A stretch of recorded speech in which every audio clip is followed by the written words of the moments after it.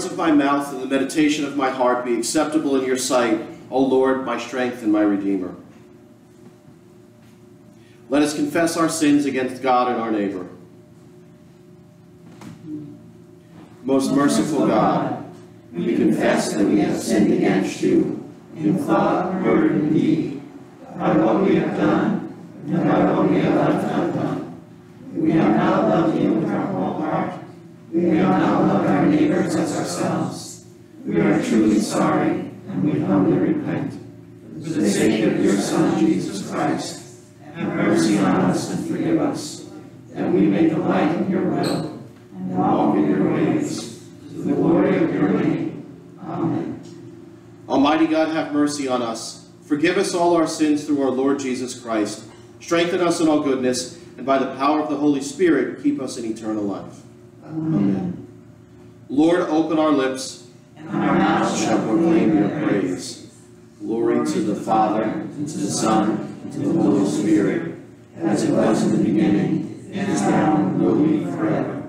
Amen. Hallelujah. The earth is the Lord's, for he made it. Come, let us adore him. Saying together, Be joyful in the Lord, all you lands. Serve the Lord with gladness, and come before his presence with a song.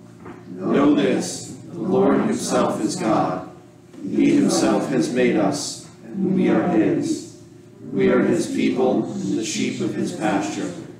Enter his gates with thanksgiving. Go into his courts with praise. Give thanks to him and call upon his name. The Lord is good. His mercy is everlasting, and his faithfulness endures from age to age. A reading from Job. Oh, that my words were written down. Oh, that they were inscribed in a book. Oh, that with an iron pen and with lead they were engraved on a rock forever. For I know that my Redeemer lives, and that at the last he will stand upon the earth.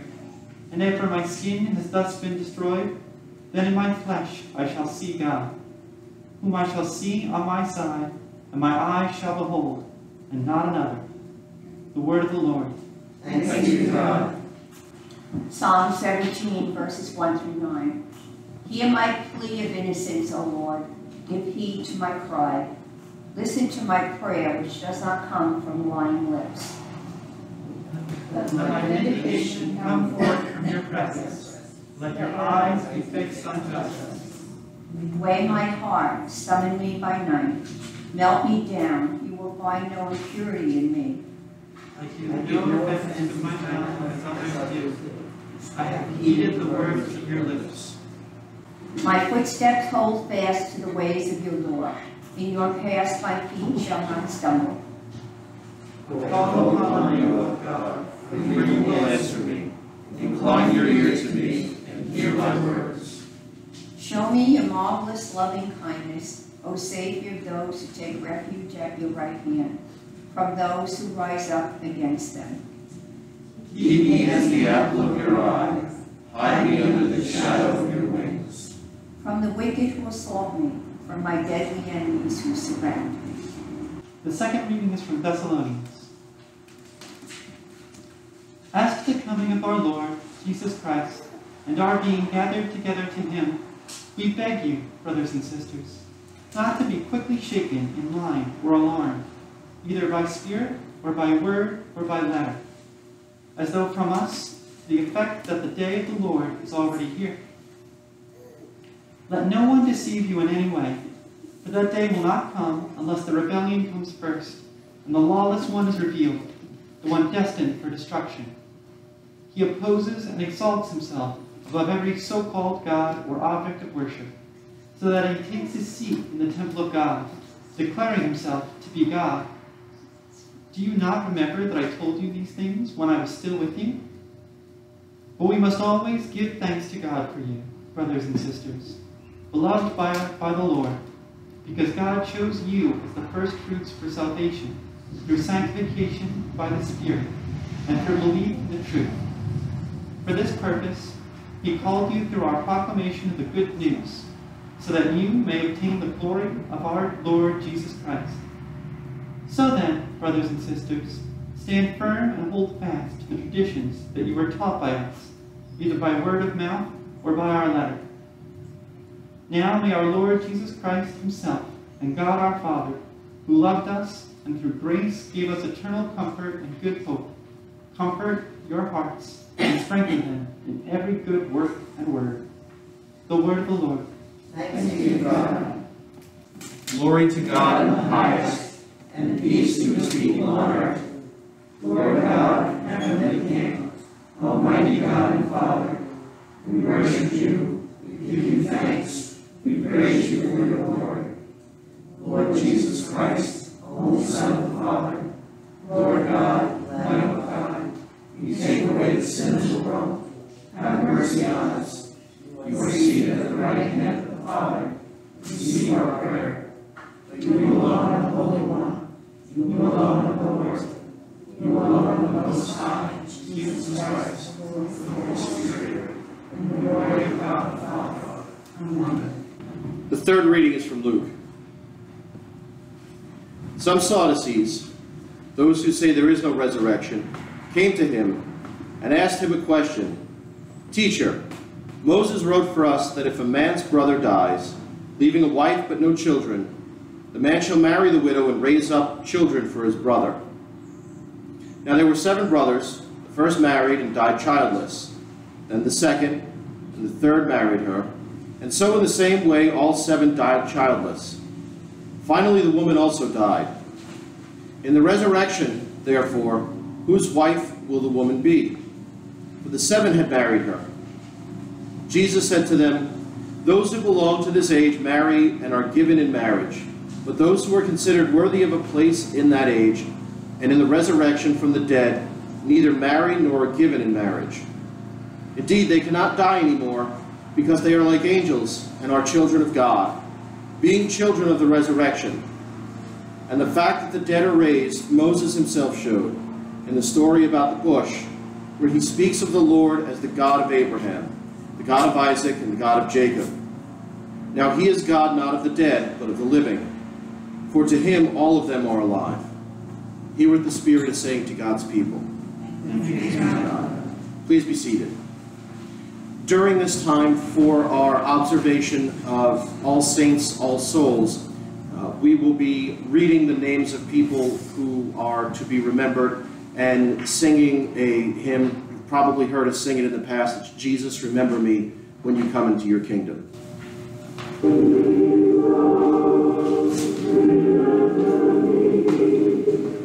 To be remembered, Margaret Roberts, Penny Roberts, Carol Bolitho, Lita Glow Bennett, Francis Martin Cafaro, Rosary Cafaro, Robert Goldsand, Gary Kirkpatrick, Kirkpatrick, sorry, Lee Holloway, Thomas Bogosian, Maria Maddow, Carmen Maddow, Silky Maddow, my husband Jack Fitzgerald, my parents Helen and Ted Brownville, my godfather Myron Cohen,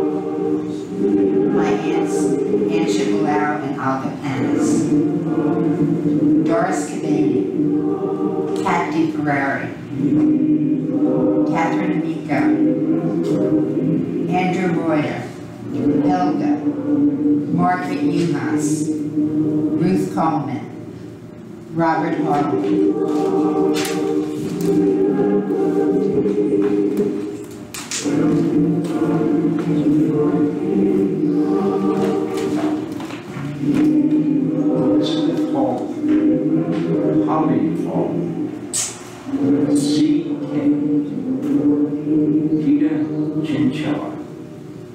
Rosary Alfred Namendorf, Stephanie and Joseph Sanko, Al and my parents Herbert and Olive my grandparents, Frank J. Elizabeth D. Ferrari.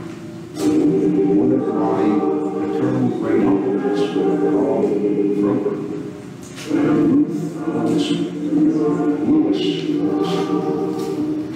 George Olson, Oscar Wall Olson, Henry Allen III, Roger Graham.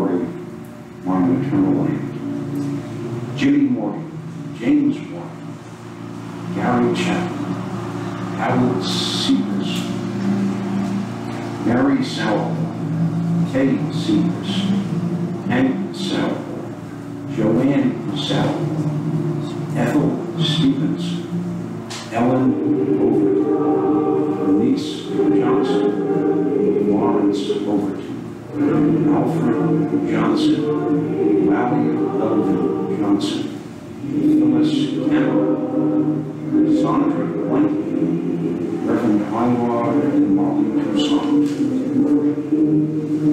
That concludes the readings of. We also remember those we now name silently or loud.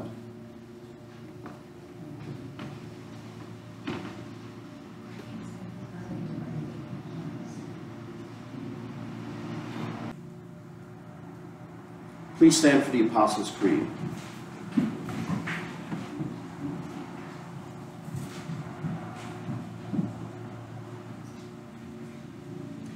I believe in God, the Father Almighty, creator of heaven and earth. I believe in Jesus Christ, his only Son, our Lord. He was conceived by the power of the Holy Spirit and born of the Virgin Mary. He suffered under Pontius Pilate, was crucified, died, and was buried. He descended to the dead. On the third day he rose again. He ascended into heaven and is seated at the right hand of the Father. He will come again to judge to judge the dead. I believe in the Holy Spirit, the Holy Catholic Church, the communion of saints, the forgiveness of sins, the resurrection of the body, and the life everlasting. Amen. The peace of the Lord be always with you. And also with you. Please give your neighbors a sign of peace. Peace, peace, peace, peace. The community of St. John the Baptist, that's Alaconca and Mendham, they are having a uh, concert on Sunday, November 20th, 2022, at 4 p.m. A donation is appreciated, but not necessary. And you have to wear a mask during the concert. If you want any more information, I'm going to hang the flyer up in the narthex and gives the address of the convent and etc. The Reverend Fletcher Harper, spiritual leader of the Church of Our Savior and director of Green Faith, is in Egypt for the 2022 United Nations Climate Change Conference. This 27th session of the conference parties on the UN Framework Convention on Climate Change, also known as the COP27, meets November 6th through November 18th. We pray for Fletcher and for the success of the conference. Today, as you may know, is the ingathering of the pledges. Uh, you can fill the, your pledge card out online electronically, or we do have ones printed out in the back of the church. Next Sunday is the annual meeting immediately following the church service, so everybody will just stay right where you are. We'll move the podium around, and we'll have it right here. And then on Fletcher's return on November 20th, we'll have the blessing of the pledges. Uh, we have three birthdays this week, or coming up this week, one of which who is here. So we will sing happy birthday. The three birthdays are Alex Masiello, John Alyssa, and the person who is here is Barbara Coleman.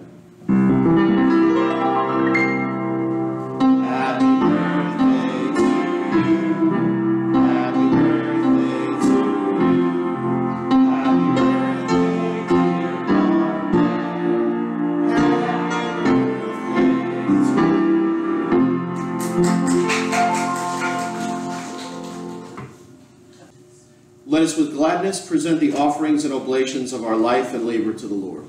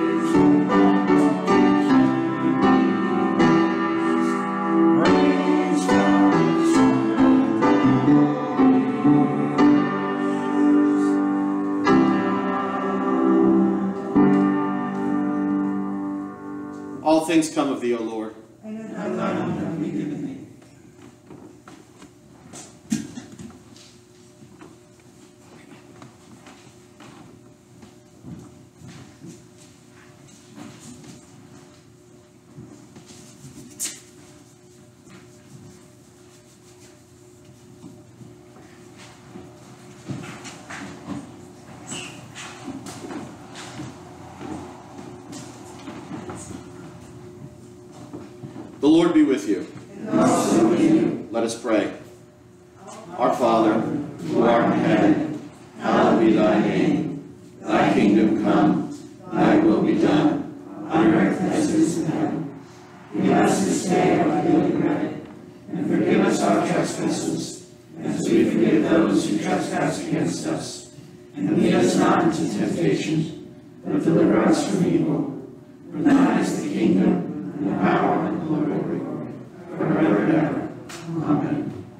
Show us your mercy, O Lord.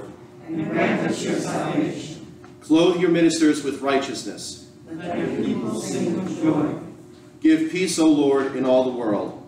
For only you can live in safety. Lord, keep this nation under your care. And guide us in the way of justice and truth. Let your way be known upon earth. Your saving love among all nations. Let not the needy, O Lord, be forgotten. The hope of the poor be taken away.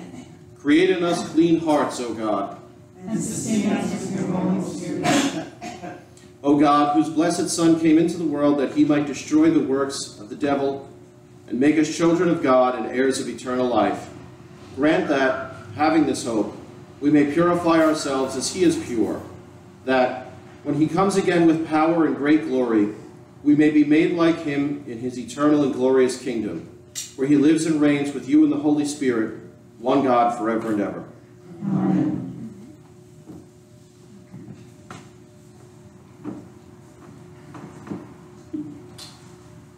The gifts of God for the people of God.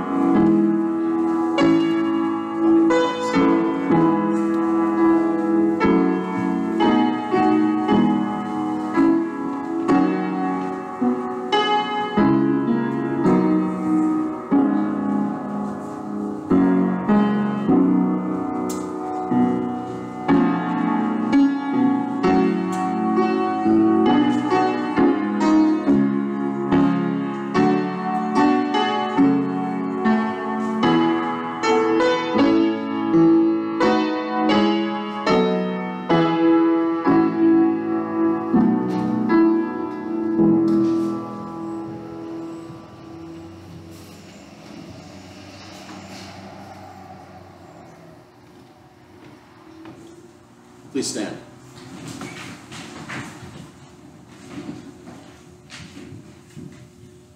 Almighty God, Father of all mercies, we, your unworthy servants, give you humble thanks for all your goodness and loving kindness to us and to all whom you have made. We bless you for our creation, preservation, and all the blessings of this life, and above all for your immeasurable love in the redemption of the world by our Lord Jesus Christ, for the means of grace and for the hope of glory. And we pray, give us such an awareness of your mercies, that with truly thankful hearts we may show forth your praise, not only with our lips, but in our lives, by giving ourselves to your service, and by walking before you in all righteousness all our days. Through Jesus Christ our Lord, to whom with you and the Holy Spirit, be honor and glory throughout all ages. Amen. Let us bless the Lord. Thanks be to God. Our closing hymn is your insert. It's when the saints go marching in.